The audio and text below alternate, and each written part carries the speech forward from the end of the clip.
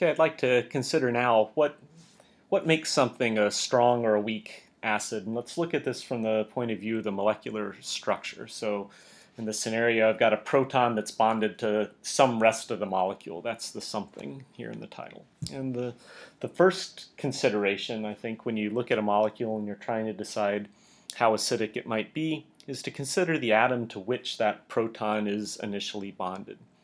So now if you just imagine going across the periodic table, for example, across row 2, then hydrogens bonded to carbon, nitrogen, oxygen, or, or fluorine are shown here.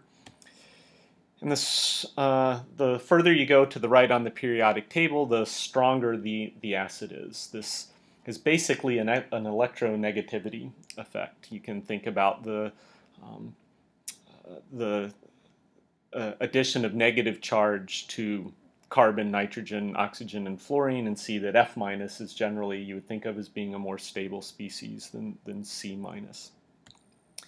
On the, other hand, if you go down the periodic table, say down the halogens, um, acidity increases as you go down the, the periodic table. This has less to do with electronegativity or electron affinity and more to do with the strength of that hydrogen-halogen bond that you're, you're breaking. Okay, so periodic trends for acidity are that acids get stronger as you go from left to right or as you go from top to bottom on the periodic table. You can take those concepts and, and really explain them quantitatively in the term of in terms of a Hess's law type analysis. Um, and if you're interested in that, then there's another video that uh, that might be relevant for you to, to look at.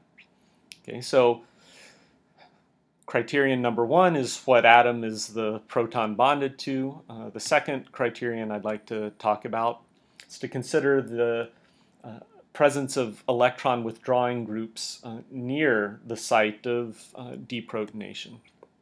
And so let's first consider uh, the acid-base reaction of, of an alcohol. Uh, so here's methanol and loses a proton to give methoxide CH3O minus.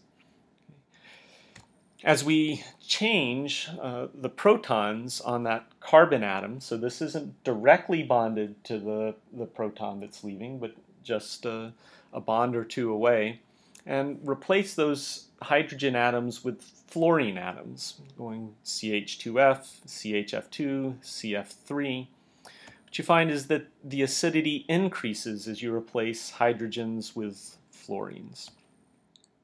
A great way to consider why this is is to look at the, the products of the acid-base reactions for methanol at the top and trifluoromethanol down at the bottom.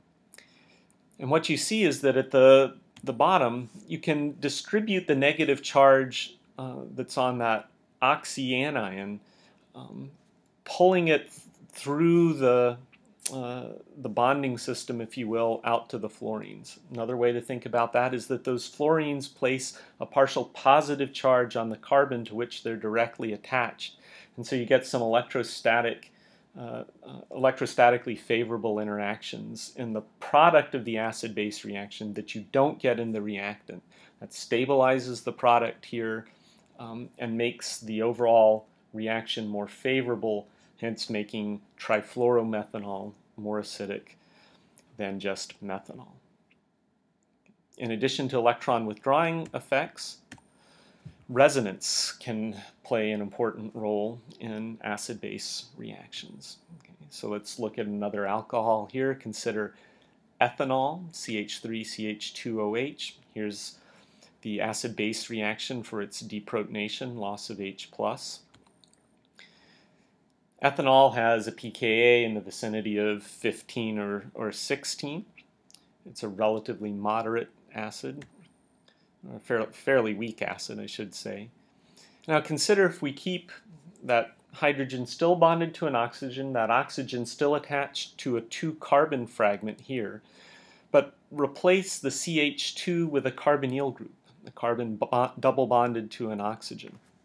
And if you consider the acid-base reaction here, now you go from acetic acid on the left to acetate on the right and a proton. Just replacing those two hydrogens with a carbon double bonded to an oxygen drops the pKa by by 10. So acetic acid is 10 billion times, 10 to the 10th times uh, stronger an acid than is ethanol. Now some of that uh, added acidity comes from an electron withdrawing effect, a polar effect. Uh, that carbon in the carbonyl group that's double bonded to the oxygen has a little bit of partial positive charge that's not there in the ethanol. But in addition to that uh, polar effect, there's also the fact that the acetate ion here is now stabilized by resonance. You can draw two resonance forms for that acetate ion where the negative charge is distributed evenly across those two oxygens. Those resonance structures are not available in the reactant in this equation, in the acetic acid itself, and they're also not available in the product of the acid-base equation at the top of the screen, ethanol going to ethoxide. And that added resonance stabilization contributes for roughly half of the uh, added acidity of acetic acid versus ethanol. So resonance structures in the products, in the conjugate bases of acids, make them stronger acids. And then the, the last factor in all of this, so uh, the atom effect, electron withdrawing effects or polar effects, and resonance effects all have to do with the intrinsic structure of the molecule. And the fourth is more of an environmental factor, and that's to think of the role of the surroundings, the role of solvent. So for some generic acid-base reaction, HX going to H plus and X minus, okay, uh, in cases where that reaction doesn't occur just for isolated molecules in the gas phase, right, in any condensed phased environment, those molecules are going to be interacting with their surroundings, and in particular, in solution, interacting with the solvent molecules that are around them. And the key point here is that in general, those interactions, those think about them as little electrostatic interactions between the solvents and the solutes are going to be strongest for the charged species. If you have a positive charge interacting with, with a solvent, that's much greater uh, interaction than a neutral molecule interacting with a solvent. And not only those interactions on the right, the interactions of the ions stronger than they are for the, the neutral species.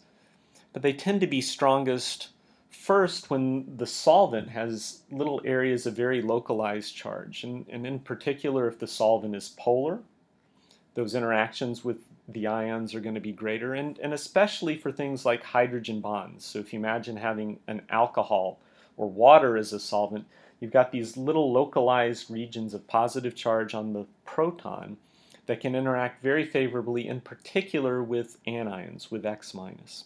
Okay, so the character of the solvent governs how uh, important these solvation interactions are. And the character of, uh, of X minus, right? The proton's always the same if we're thinking about um, Bronsted acidity here. But X minus is different, and, and if X is small and has very localized negative charge, then those solvation interactions also tend to be much stronger. Okay, so for example, the hydration energy of fluoride, how favorably it interacts with surrounding water molecules is much stronger than the hydration energy of chloride, which is much stronger than the hydration energy of bromide, and so on. Okay, and so the, the smaller and more localized that concentration of negative charges, the greater the solvation energies. So it's important to keep all four of these uh, possible effects in mind as you're trying to relate ideas of molecular structure and environment to acidity and acid-base reactions.